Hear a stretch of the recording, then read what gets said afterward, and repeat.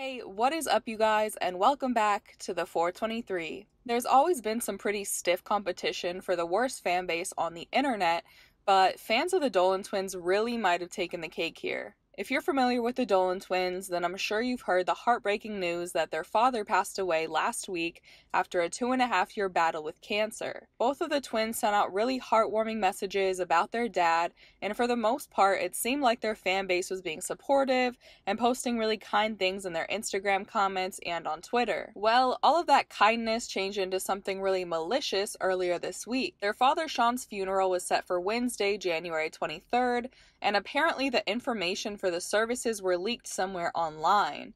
After this, fans started to make plans to show up to the funeral in order to meet the Dolan twins, and to make things even worse, they started a Sean Dolan meetup party hashtag, posting some super insensitive things, joking about showing up to the funeral. I did see one comment on Instagram of a fan saying that she lives in the same county as Ethan and Grayson's parents, so she got a notification on Facebook for the funeral and saw where the address was, but I'm not sure if that's how it was initially leaked. There was also an Instagram account named Sean Dolan Funeral, and whoever ran the page says they called the funeral home, which is just insane. But either way, these tweets are absolutely terrible.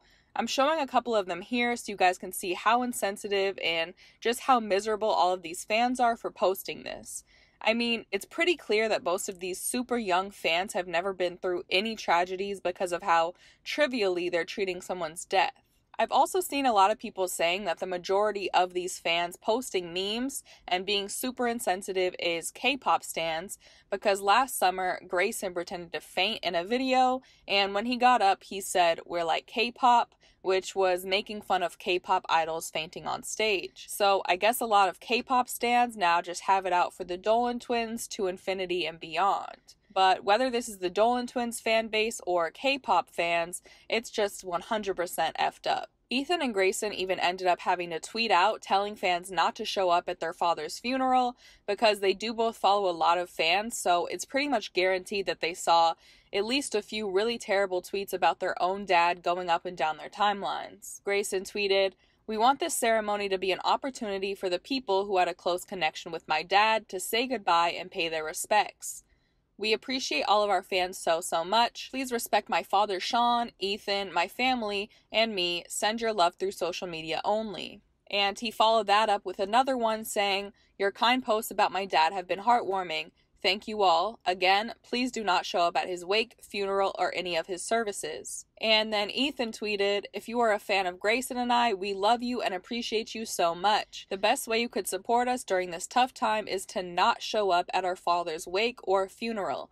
Thank you guys, and please, please, please respect my wish. So, like I said, it's effed up that anyone was tweeting these things out in the first place, but the fact that these two had to scroll through their timeline and see such insensitive things about their own father is just insane. But of course, I want to know what you guys think about this. Why would these fans ever think something like this is okay, not to mention funny?